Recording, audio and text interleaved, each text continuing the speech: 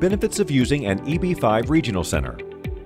Projects under the EB5 Immigrant Investor Program can receive direct EB5 investments from foreign investors. However, many project developers choose to sponsor projects through regional centers to enable indirect EB5 investments and the numerous accompanying advantages.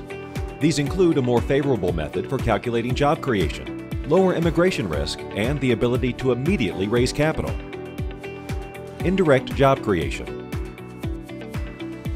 Under the EB5 program, each foreign investor is required to create 10 new full-time jobs. Direct EB5 investments result in only direct job creation, meaning investors only count jobs verified by the EB5 project's payroll records. For this reason, projects with direct investment usually cannot support multiple investors. But projects that affiliate with a regional center can include direct, indirect, and induced jobs toward the required number of full-time jobs created per investor.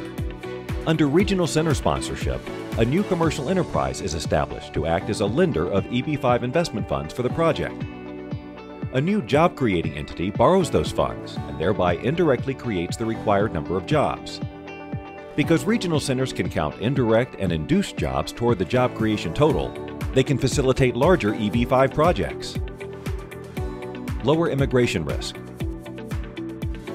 A project sponsored through a regional center almost always produces favorable job creation numbers for a project's EB5 investors.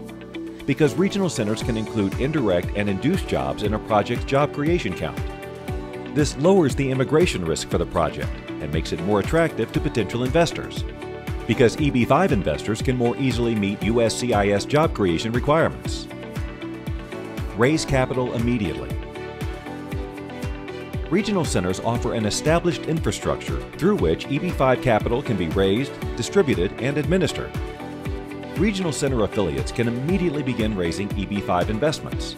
Depending on the project's location, they may also qualify for targeted employment area status, which reduces the individual EB5 investment requirement from $1 million to $500,000. Project developers can obtain EB5 Regional Center sponsorship in three ways by applying for EB5 Regional Center designation and establishing their own regional center, by renting or affiliating with an existing regional center, and by buying an existing regional center license, subject to USCIS approval.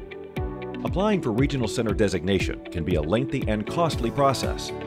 Therefore, many developers choose to rent or affiliate with an existing regional center as a cost-effective way of obtaining EB5 capital for their projects. EB5 Affiliate Network owns and operates one of the largest regional center sponsors in the United States, with 15 USCIS approved regional centers covering 27 states. Contact us today to find out if your EB5 project is covered by one of our regional centers and begin the affiliation process.